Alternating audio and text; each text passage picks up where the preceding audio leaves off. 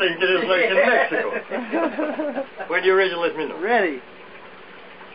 Господа, я Игорь Сударкин, делаю этот репортаж с района Северного полярного круга, там, где Чукотка подходит очень близко к Соединенным Штатам. Между нами сейчас э, около 100 миль, 170 километров воды, покрытой льдом, посередине остров Диамид.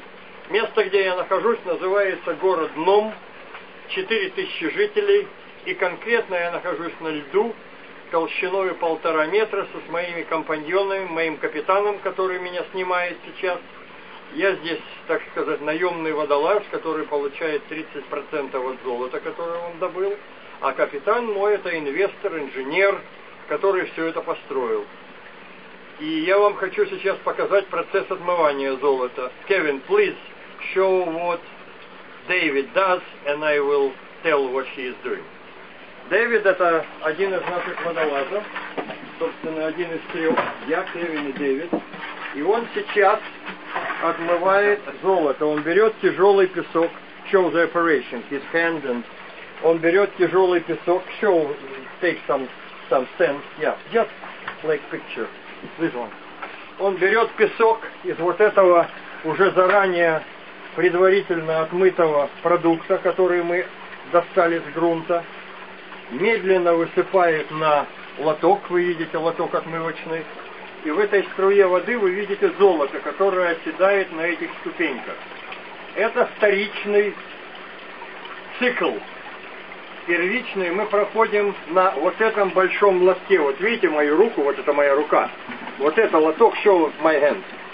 Э, это главный лоток. Когда водолаз под водой, здесь вода идет, и здесь она оставляет золото. Мы этот лоток уже отмыли. Вот это пакет, uh, пакет, please. Вот это ведро, это отмытое с большого лотка. Теперь идет вторичная отмывка, secondary, uh, на этом лотке. А третья ступень, это будет, я вам покажу позже. Let's change again. Okay. Is it okay one more minute? Yeah, oh, lots of footage. Значит, я продолжаю. Я в этом месте нахожусь второй год. Два лета я работал как водолаз, и это первый мой опыт зимой. Кевин, наш капитан, которого я вам покажу позже, он душа этого общества, он инженер, он инвестор, и он наиболее рискует, он больше всех рискует.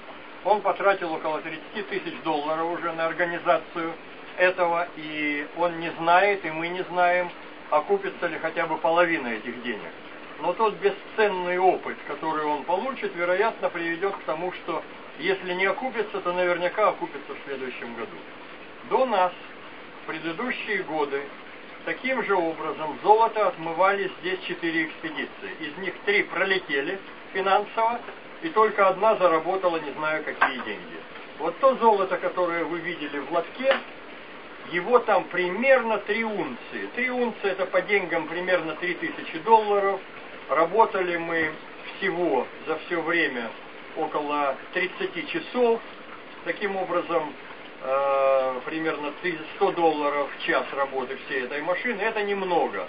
Обычно мы должны добывать 4-5 раз, как мы работали летом. Теперь я вам хочу показать э, нашу операцию с улицы. Kevin, please, let's go outside and I show them input and output. Okay.